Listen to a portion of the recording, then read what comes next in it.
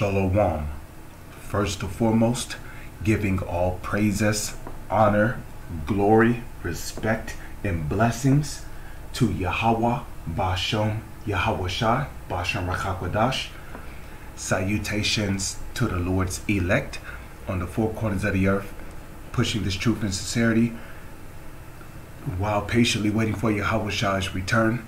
And double honors to our apostles and elders of Great Millstone which have taught us everything we know through the spirit and power of Yahawah Bashem Yahawashi.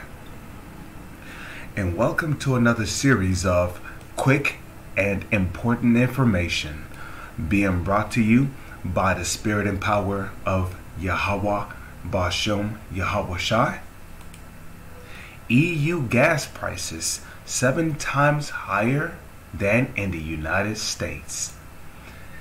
And, well, a part of the reason why EU gas prices are so high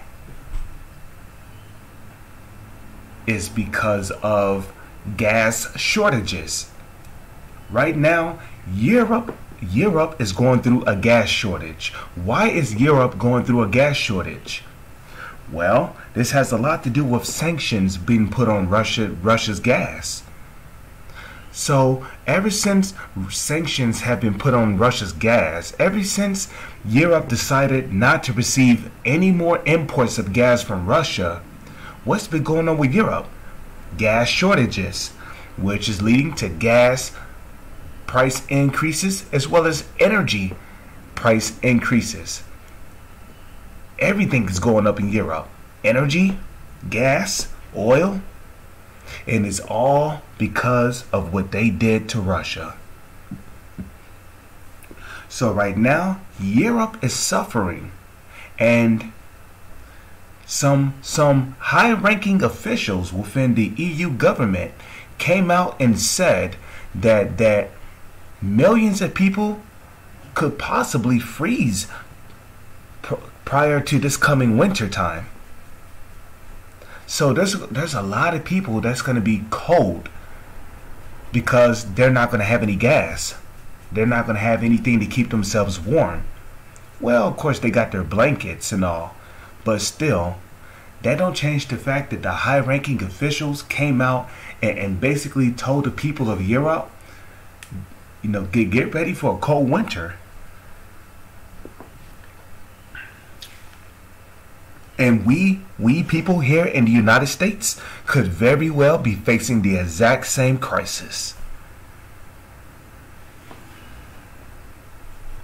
It says soaring soaring fuel costs threaten to send the continent's economies into recession. But wait a minute. What are they talking about? Threatening to go into recession. Europe is already in a in a recession. If you rather if you believe it or not, Europe is already in a recession. The United States is in a recession. You know, I had a conversation with with somebody today at a corner shop, and you know, we was talking about you know, the, the, the increase of food prices going up, you know? Okay, you know a country is in a recession when you start to see the prices on everything go up. It's not just food, it's gas, it's oil.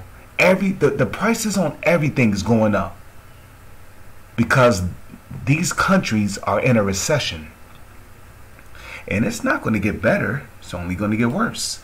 And a matter of fact, the Holy Bible, the Holy Scriptures said that it would it will get worse.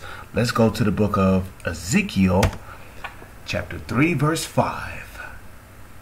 It says, The just Lord, because the Heavenly Father is just, just like his Son, okay, the just Lord, Yahawah, through his Son Yahawashi, is in the midst thereof. Right because the Lord said that He would visit these countries through judgment.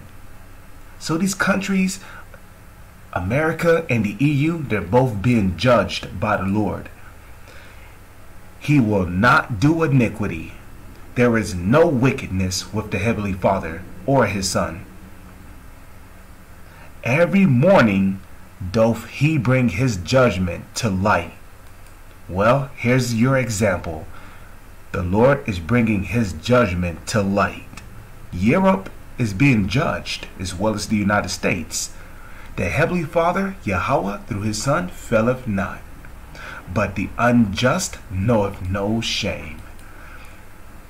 With that, I'm going to say Shalom is on to the next one.